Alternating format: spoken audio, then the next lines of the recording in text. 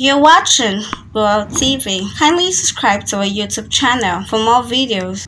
Click on the subscribe button and the bell beside it. This will notify you once we drop a new video. Thank you.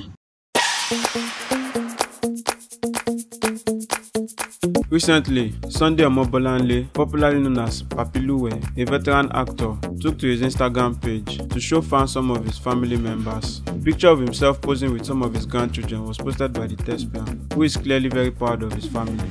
The actor was all smiles at the snap as he was happily surrounded by eight of his grandchildren.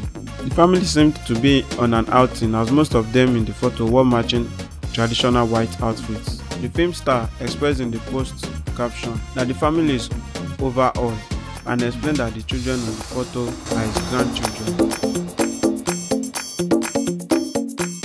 The actor's son, Sukomi Mobolanle, who also happens to be in the industry, also shared the same photo of his father with his grandkids on his page. Thanks for watching this video. Please don't forget to click on the subscribe button. Kindly comment and share. We drop new videos daily. Thank you.